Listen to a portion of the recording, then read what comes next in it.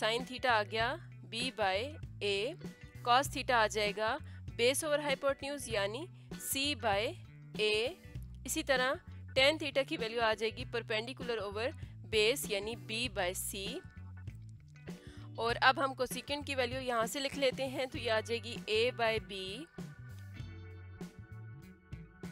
ये जो लाइट है वो रिफ्रैक्ट हुई है तो रिफ्रैक्ट होने की वजह से ये नॉर्मल के साथ एक एंगल बनाएगी। उसको हम कहते हैं एंगल ऑफ़ रिफ्रैक्शन जिसको मैं आपके लिए यूँ लिख देता हूँ। अब ये जो एंगल ऑफ़ रिफ्रैक्शन है, उसको आप लेबल करेंगे थीटा आर से। अमोनियम प्लस और क्लोराइड नेगेटिव आइन में, ठीक है? प्लस वन में और नेगेटिव आइन में ये कन्वर्ट हो सकता है तो यहाँ से अमोनियम हमें मिल गया। और इसने क्या किया जी? अमोनियम क्लोराइड ने सॉरी अमोनियम प्रोड्यूस किया, ठीक है? और साथ में हमारे पास क्या मौजूद है जी? यहाँ पर मैंगनीज ऑक्साइड भी मौजूद है, दो अमोनियम आयन यहाँ पर आते हैं और दो अमोनियम आयन जो है वो दो मैंगनीज ऑक्साइड के साथ जो है वो मिक्स होके और दो इलेक्ट्रॉन को अपने साथ एक्सेप्ट करते हैं। ये सिस्टर क्रोमेटिड्स जो हैं अभी भी मौजूद हैं। लेकिन ये जो सिस्टर क्रोमेटिड्स हैं, वो आपस में एक दूसरे से अब मुख्तलिफ़ हैं। यानी कि वो बिल्कुल डिटो कॉपी नहीं है, जिस तरह से पहले हमें नज़र आ रही थी। यहाँ पर हम देख रहे हैं ये सिस्टर क्रोमेटिड इस सिस्टर क्रोमेटिड से मुख्तलिफ़ है। इसी तरह से हम देख रहे हैं, ये हाईलाइट हुआ हुआ सिस्टर क्रोमेटिड जो है, ये दूसरे सिस्टर क्रोमेटिड से मुख्तलिफ़ है।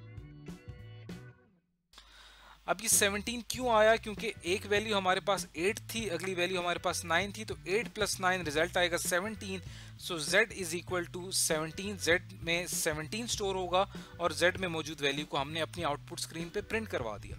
तो आपने देखा कि इस तरह से एक कंप्यूटर प्रोग्राम कुछ सेट ऑफ़ इंस्ट्रक्शंस होती हैं जो मिलके कोई काम कर रही होती हैं, कोई टास्क कर रही होती हैं। जैसा कि यहाँ पे जो टास्क किया जा रहा है, वो एडिशन का प्लस का है। कि यहाँ पर हमने अपने सामने डायरेक्शंस रखी हैं। ई ज़ाहिर कर रहा है ईस्ट को, यानी कि मशरक़ को। डब्ल्यू ज़ाहिर कर रहा है वेस्ट को, यानी कि मगरब को। नॉर्थ ज़ाहिर कर रहा है शमाल को और एस ज़ाहिर कर रहा है साउथ यानी जनूब को।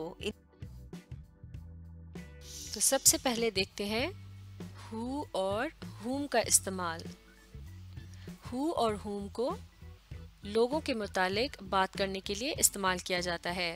हु फॉर पीपल तो सबसे पहले देखते हैं हु की example the lady who met us was my teacher यानी वो खातून जो हमें मिली थी, वो मेरी टीचर थी। तो अब मैंने यहाँ एक मिसाल लिखी है, तीनों के नीचे जुमले लिखे हैं। अहमद स्कूल गया था। अहमद स्कूल जाता है, अहमद स्कूल जाएगा।